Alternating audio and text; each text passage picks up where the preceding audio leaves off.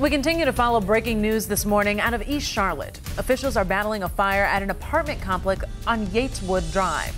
You're taking a live look at pictures of the scene right off of Albemarle Road near the Simmons YMCA.